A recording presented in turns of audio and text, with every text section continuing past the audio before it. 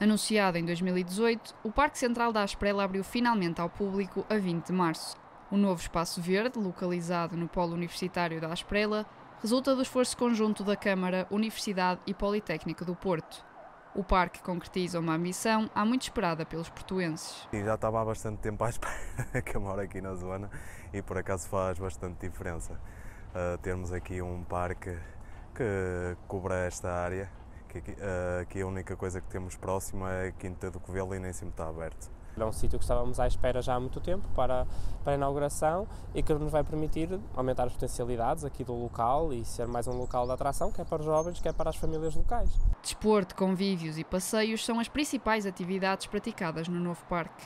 A afluência de estudantes é notória face à proximidade das universidades. Parece assim um bom espaço para quem estuda como eu na Faculdade de Engenharia. Às vezes, para quem tem, assim um, para quando tem um pequeno intervalo, assim um pequeno passeio, mesmo para, como, como para quem como eu gosta de correr, parece um bom espaço. Com cerca de 6 hectares e mais de 2 km de percursos pedonais e cicláveis, o Parque da Asprela custou cerca de 2 milhões de euros. Numa área com muita concentração populacional, o parque é visto como algo que faltava. Falta de espaços verdes, nós, te, nós temos alguns jardins aqui na cidade do Porto e isso, isso é bom. No entanto, uh, se calhar em áreas que, que têm uma densidade urbana um bocadinho grande dentro da cidade, que era o que acontecia aqui, efetivamente fazia falta.